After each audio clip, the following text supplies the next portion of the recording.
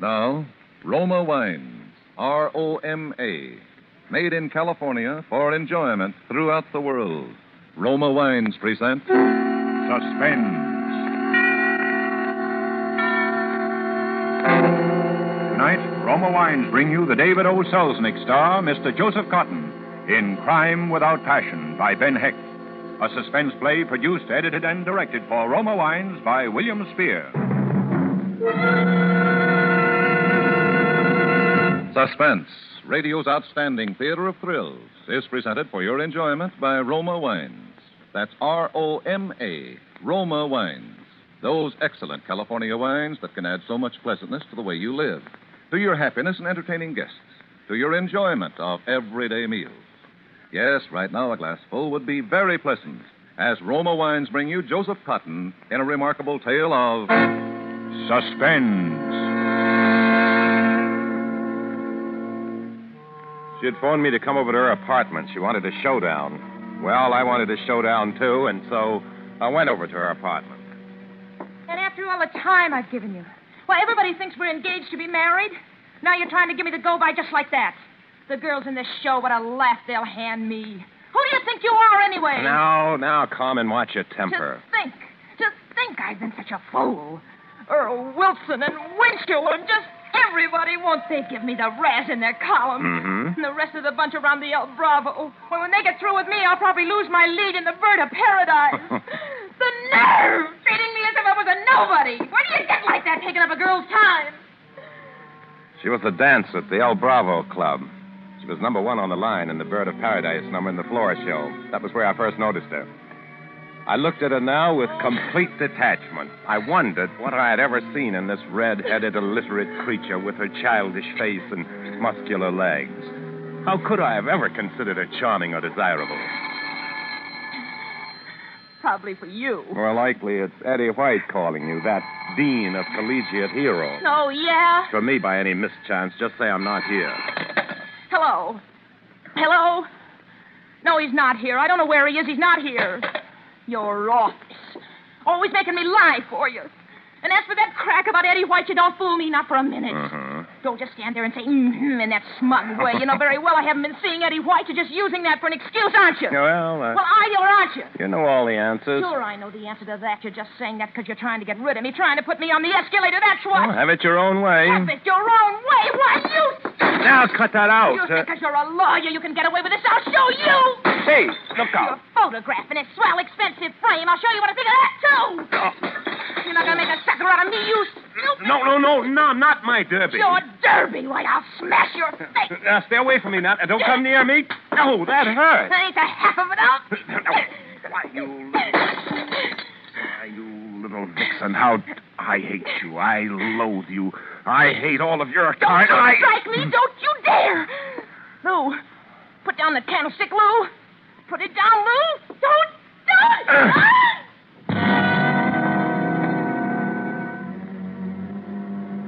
Was suddenly aware of a large brass candlestick in my hand, and on the floor lay Carmen Brown. I leaned over her. Her skull cracked, and blood was running from it. Her eyes were closed. I listened. No heartbeat. I was suddenly overwhelmed with the thought that I had committed a murder.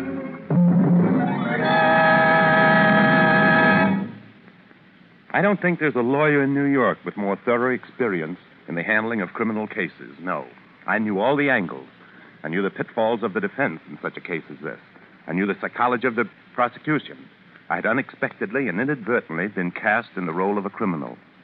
Through my mind rushed all the prejudices and difficulties of such a case. And in less than a minute, I had put myself on trial on a plea of self defense, reviewed the evidence, and found myself guilty.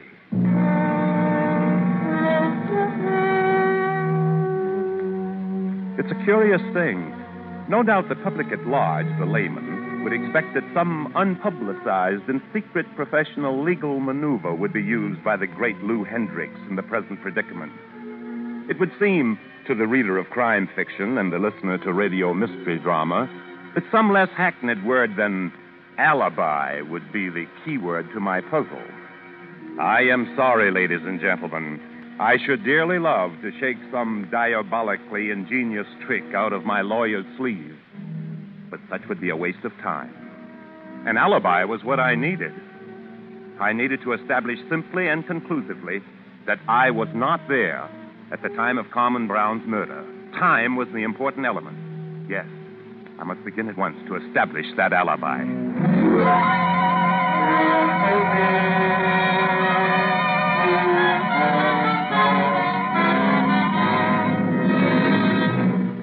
For suspense, Roma Wines are bringing you Joseph Cotten in Crime Without Passion by Ben Hecht.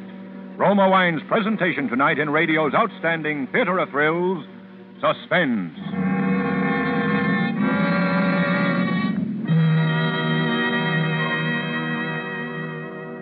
Between the acts of suspense, this is Truman Bradley for Roma Wine.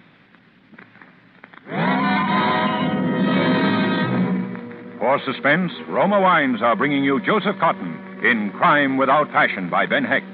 Roma Wines' presentation tonight in radio's outstanding theater of thrills, Suspense.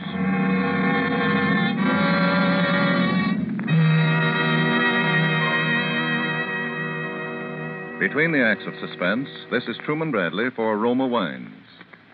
Do you know the principal difference between American and European hospitality? Well, here's how famed Elsa Maxwell, authority on entertaining, sees it. Says Miss Maxwell American hospitality is distinguished by its informality. Good friends in America don't need an invitation, they just drop in and take pot luck. That's why millions of American families always keep Roma, California sherry on hand. Roma sherry is ideal for entertaining.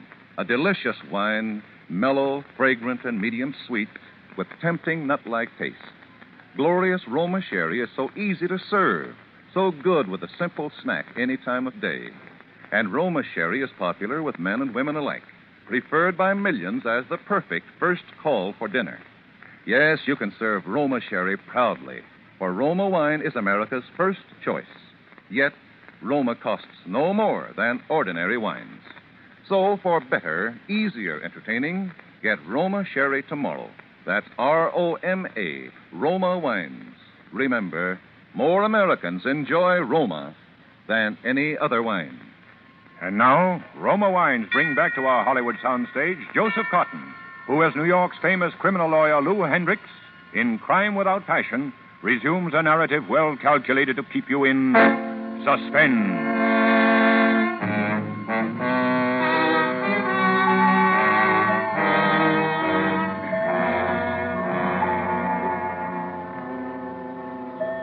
Leaned over and glanced at the watch on Carmen's wrist. The dialed glass was broken. The watch had stopped. The hands pointed to two minutes of four. The clock on the desk had just struck four. The telephone. I let it ring. Had to. Of course, the phone made it impossible to establish an alibi by setting the time forward.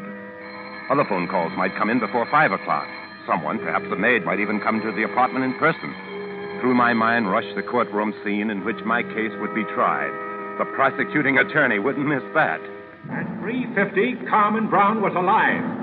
As witness the fact that she answered a phone call which came through the switchboard to her apartment at that time. At two minutes after four, just 12 minutes later, a phone call came through that same switchboard which she failed to answer. Why, gentlemen of the jury? No. What I needed was an alibi for the hour preceding four o'clock, the time at which her watch had stopped. I must provide not only an alibi for myself, but also fortify it with evidence, tending to prove that someone other than myself had done the deed. But how? Fingerprints? They told a graphic story. A story that would reveal that Carmen had been in a rage demanding something of the killer. This would point directly to me, since I was known to have been her admirer and steady caller at her apartment. But if I could make it appear as though the assailant was demanding something of her, he was in a jealous rage, had smashed the articles, including the frame framed photograph of Lou Hendricks, and had concluded with the killing of Carmen. I wiped the fingerprints carefully from the articles in question with my silk handkerchief. And again, I imagined myself on trial in the courtroom, this time with my defense counsel addressing the jury. Ladies and gentlemen of the jury, Carmen Brown had undoubtedly been attacked by some other shooter who was obviously jealous of the defendant, Lou Hendricks. As witness, the destroyed photograph of the latter. You will also note her assailant was crafty enough to remove all fingerprints. So far, it was good. I had set the scene. I was ready to leave the apartment. But wait, I just remembered. A gun was in Carmen's desk only a few feet from where she now lay. They would wonder why she hadn't defended herself with it. The prosecuting attorney wouldn't miss that. Oh, no. He'd point an accusing finger at me. And yet, Carmen Brown did not reach for this weapon with which she could have defended herself. Why? Was it because the assailant was someone familiar with her? Someone against whom she had no thought of harming herself? Or perhaps because the assailant was familiar with the premises and knew where the gun was and prevented her from reaching it? Took the gun and slipped it into my coat pocket. I would dispose of it later. I took every precaution to make sure that no one saw me as I left the building. My trained legal mind warned me against a surprise witness, which in so many court cases was dramatically brought forth by the prosecutor to confound the guilty. I remembered grimly how some of my best cases had tumbled by the appearance in court of some aimless stray human, someone who happened to have seen the defendant during his presupposed alibi. The prosecutor would have a gleam in his eye questioning such a witness in the courtroom. And you say you saw the defendant Lou Hendricks leaving the apartment building shortly after the time of the murder? This must not happen.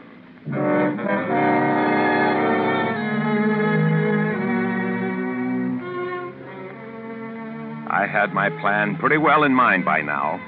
I took a back shortcut to Broadway, the Palace Theater. It was an off hour. There was not a long line waiting. I bought my ticket and went quickly in. Without waiting. Seats in the third aisle to your right, please.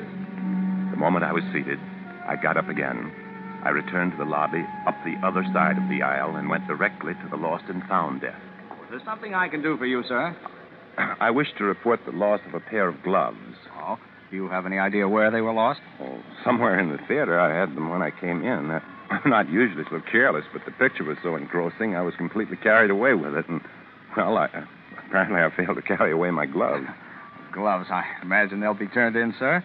Oh, I'm sure they'll be found. If you'll just make a record of it, uh, Lou Hendricks is the name, uh, with an X. Hendricks, huh?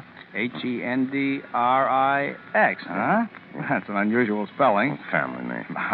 well, all right, sir, Mr. Hendricks. If you'll just fill out this blank with your name and address and the time. Oh, yes. Oh, yes, yes, to be sure, the time. Uh, let's see. Uh, what is the time? It's uh, exactly 20 minutes after 4. I'll record that on the blank for you. After four? Well, could it be that late? Heavens, I had no idea of the time. Quite a long picture. Yes, the picture was a little longer than most. I hope you enjoyed it, sir. Oh, yes, yes, indeed. I enjoyed it very much. It was well worth sitting through. Uh, well, thank you very much. I had established an alibi for having spent the time between 2.30 and 4.20 in the movie theater. This was a period of two hours, and this was now recorded in black and white at the Lost and Found desk. I'd taken care that this should be a movie that I had already seen, so I'd be able to recite the plot if questioned. The main body of my alibi had been achieved. I now went directly from the movie to my next port of call, Sardi's Restaurant, where I'm well known. How are you, Mr. Hendricks? Your usual salesman? Yes, Henry. It's in the headline? No, no, I just came from a movie. Oh, by the way, what is the exact time? I've got to make a telephone call. It's just 4.30, Mr. Hendricks. 4.30. Uh, I think I'll make my telephone call while you make me a chicken sandwich. Okay, the booth is just there, you know.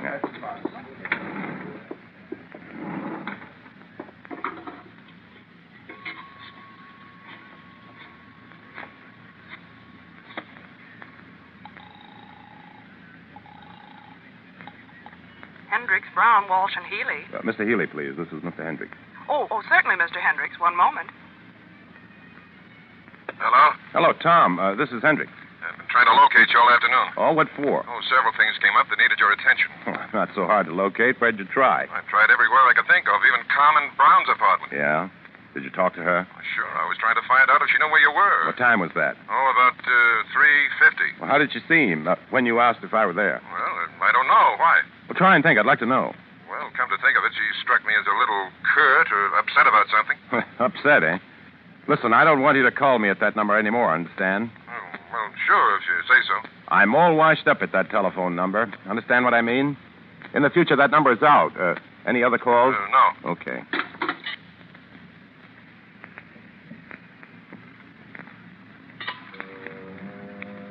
Again, my mind reverted to the courtroom scene in which I imagined my case being tried, but this time I had my case well in hand. The thought of facing the prosecuting attorney did not disturb me. The thought of that little bout between the two attorneys even amused me. So, Mr. Hendricks told you that you needn't try to reach him at Miss Brown's apartment anymore, eh? Ladies and gentlemen of the jury, when the defendant made this statement to his trusted friend and law partner, he had undoubtedly good reason to believe there was another man in Carmen Brown's life. I had forged another link in the chain of evidence pointing to my innocence. Everything was working out in favor of a perfect alibi for my defense. Everything was going fine. I was beginning to enjoy the case very much.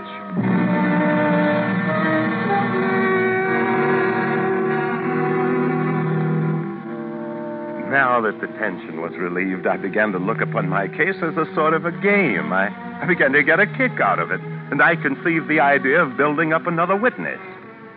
Eddie White was uh, the only one of Carmen's previous amours whom I knew, and I considered for a moment involving him in the case. He was Carmen's previous suitor just before I entered the picture. He was known to be a hot headed young gentleman given to nocturnal fisticuffs in public places, but uh, I finally dismissed this idea. This witness, I decided, would be Miss Moore, who was also a dancer at the El Bravo Club. She was Carmen's closest friend and confidant. I telephoned this morning and requested her to join me at the restaurant. She came right over.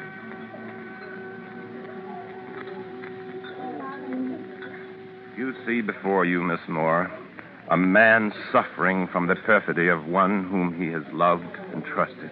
Uh, would you mind saying that again in, in plain English? Well, to put it more simply, I think Carmen has been two-timing me. Miss Moore, I'm consumed with jealousy. I must know the truth, and you're the only one who can tell me.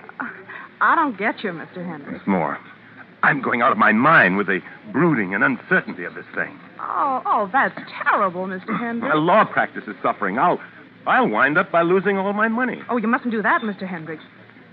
You know something? No. What is it? Oh, honest, Mr. Hendricks, I wouldn't tell this to another soul. You know Carmen's my best girlfriend. Oh. But you're such a swell guy. Well, I think you should know. But to tell you the truth, I don't think Carmen appreciates you. That's what. Miss Moore, if there is another man, someone Carmen really loves, I, I'd force myself to step aside. It's, it's her happiness. Oh, well, I ain't saying she has. I just say Carmen has got an awful swell head since she got the lead in the Bird of Paradise number. She thinks she's some pumpkin. And I'm only saying I don't think she appreciates a high class gentleman like you. Thank you, Miss Moore. Have you seen Carmen today? No, I haven't. Have you seen her? No, I, I don't trust myself to see her. Goodness knows what I would do uh, feeling this way. Oh, Mr. Hendricks, you're all worked up. And I don't blame you. Uh, say, I have to leave you. I, I hate to leave, but I gotta go. It's getting late, and the dinner show goes on before long, you know. Tell Carmen I'll be over to the El Bravo tonight and give her a last chance to prove herself. Oh, I'll sure give her your message, Mr. Hendricks. I sure will. I knew Carmen had not been receiving attentions from another man, but if I could get Miss Moore to testify in court, I could use her to convince the jury that I was jealous of Carmen, but that I loved her and wanted her alive, not dead. This would make my case airtight. I then made another telephone call. This was to Carmen's apartment. Hello? Uh, hello, is Miss Carmen Brown in? I'll ring her apartment.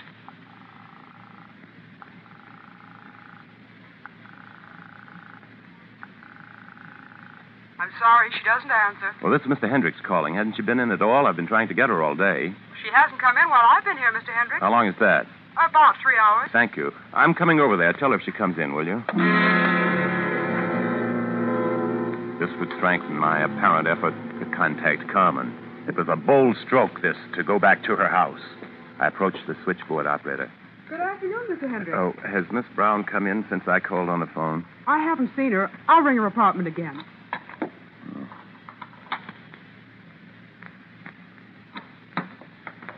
She still doesn't answer. Well, please give her this note when she comes back. All right, Mr. Hendricks. I'll see that she gets it. I handed her the note. It read, Darling, don't torture me anymore. Give me a chance to believe you. I'm willing to forget what I heard or thought I heard over the phone. As ever, Lou.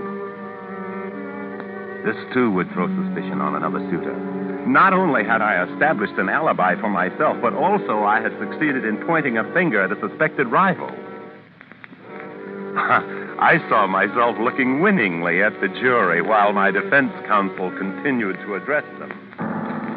Ladies and gentlemen of the jury, if the defendant Lou Hendricks had known Carmen Brown lay dead in her apartment, would he have written such a note?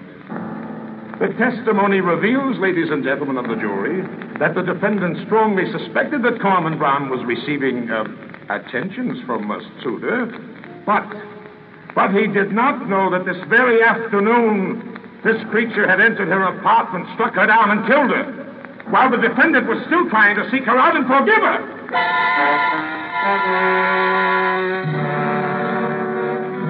My alibi was now complete. I had every angle worked out. I summed up my case. It was perfect. From my superior legal knowledge, my vast experience, I had built a perfect case for myself. I was very pleased. My case was ready. I had an excellent dinner, really excellent. I then put in another phone call to Carmen's apartment. I was ready to hear the news of the finding of the body. At the news of the crime, I would rush right over and act my part of the thoroughly grief-stricken suitor. This would be the finishing touch, a final flourish, as it were. Miss Brown does not answer. Crime had evidently still not been discovered. I decided the best course would be to go to the El Bravo Club. I was well known there. I'd order coffee and dessert and wait there until Carmen's absence was noticed and her murder discovered. Good evening, Mr. Hendricks. Right this way, Oh, sir. good evening, George. Hello there. How are you? Hello, Lenore. Hi, Kay. David Oak. Lud. So I said to him, I said, look, if you think I'm going to sit around here. Oh, come on. Blonde, blonde, can't you think of anything but blonde? Oh, honey, come on, let's go home. I... Oh, no, here, here, the floor. Oh, the famous criminal lawyer Lou Hendricks. Oh, our ex-college hero, Eddie White, product of the higher education. Looking him over, I see. Yeah, mind if I sit here? Well, this is the entertainer's table. I have no monopoly on it. Then I'll sit down. By the way, Hendricks, I didn't know you were such a movie fan. Just what do you mean? Saw you going into the Palace Theater this afternoon. You did? Just what time was that? What time? Ooh, a little after four, I should say. You're crazy. You think you saw me going to the palace after four? I... Why, I came out at 4.20 after seeing the whole show. I don't care what you say. I saw you going in at a quarter after four, to be exact. I was going to say hello, but you weren't looking my way. How'd you like the picture? Ought to be in your line, all about one of those crooked legal sharks. And you say you saw the defendant Lou Hendricks going into the theater at a quarter after four? Yes, sir, I did. The surprise witness that I had been so carefully guarding against. Here he was, sitting opposite me in the person of all people, Eddie White. In a flash, I could see all the evidence I had planted turning against me. The prosecution would take it apart piece by piece. The all too obvious false mechanism of my alibi. There was no alibi. I, I had no case. Eddie White's simple statement of the time, 415, revealed all of my subsequent actions as those of a thoroughly guilty man. Look, White. It must have been somebody else you saw. Listen, don't tell me. I saw you looking around, buying your ticket, and ducking in. I know it was a quarter after four because I had a date outside. And don't get excited, it wasn't with Carmen. That's a lie. What's that? I said you're lying. You didn't see me. Oh, that's what you said, is it? Listen, I never liked you, and I don't take that kind of talk off a guy I got no use for. Get that? You're a liar. You're not only a liar, but, but a numbskull, a perennial drop kicker. Once a drop kicker, always a drop kicker. Oh, you little shyster. Ah, Take your hands off my collar. Let me go. Take your hands off me. Calling me a liar, huh? You little shyster. You no good little shyster. Somehow, I don't know how or when, I had taken the gun out of my pocket. Carmen's gun. The gun I was going to dispose of. I was holding it in my hand. It had exploded. No one heard the shot through the blare of the orchestra. A new number of the floor show was starting. Everyone's attention was focused on the dance floor. The chorus girls were coming out for the Bird of Paradise number, and everything was a little blurred, a little hazy. I looked at the girls as they came forward. Leading the chorus, I saw. I saw Carmen Brown. She was dancing. This, this could not be. I, I grew sick.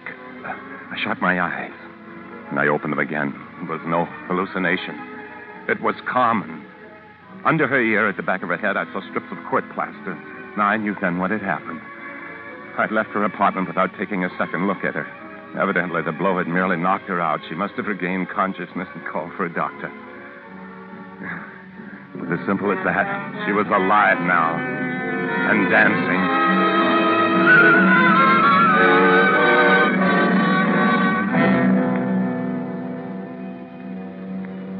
Hendricks, the shining legal intelligence.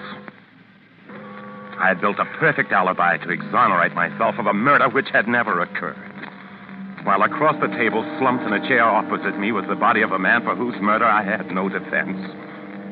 Every step of my carefully built alibi, my perfect case, would help to convict me of the killing of Eddie White. This time I had no alibi. This time there was no possible defense.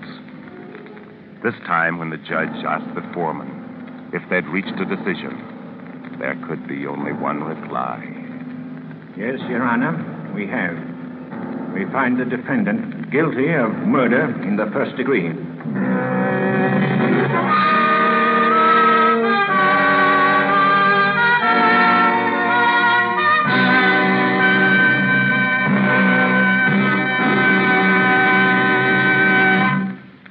Suspense. Presented by Roma Wines, R O M A, made in California for enjoyment throughout the world. Before we hear again from Joseph Cotten, the star of Crime Without Passion, tonight's suspense play, this is Truman Bradley for Roma Wines. One of the finest cooks I know recently told me her secret for winning praises.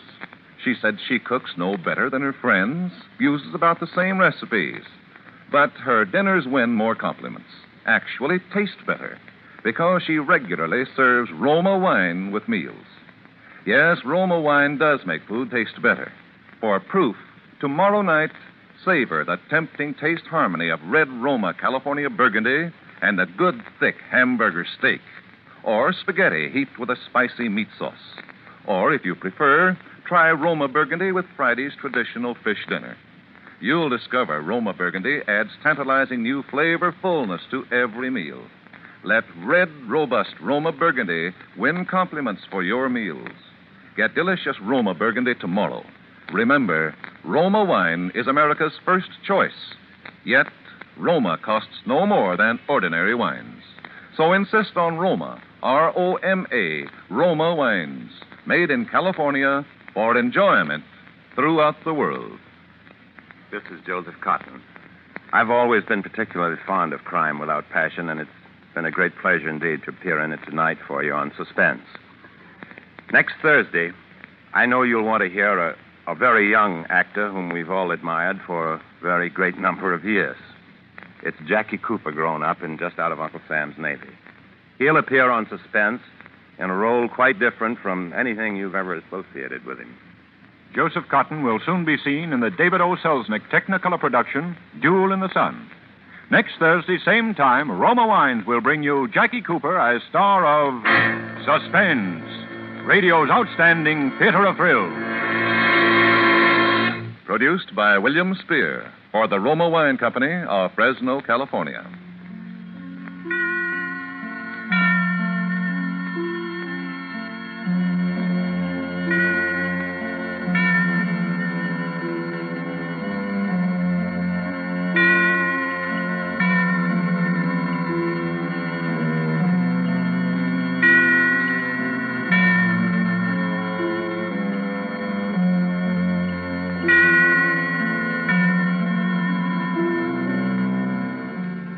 Suspense is broadcast from coast to coast and to our men and women of the armed forces overseas by shortwave and through the worldwide facilities of the Armed Forces Radio Service.